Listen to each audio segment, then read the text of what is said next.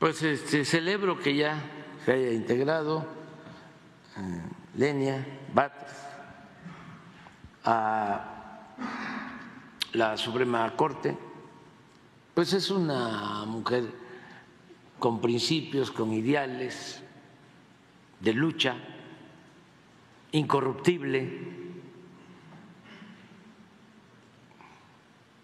verdadera defensora de la justicia. Leí por ahí que ya le llaman la ministra del pueblo, me acordé que a Francisco Villa lo llamaban, bueno, el Centauro del Norte, pero también el revolucionario del pueblo por su origen.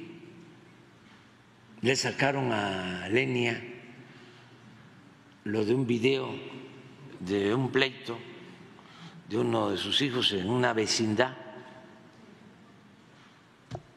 y me dio mucho gusto porque demuestra quién es Lenia. Es pues eh,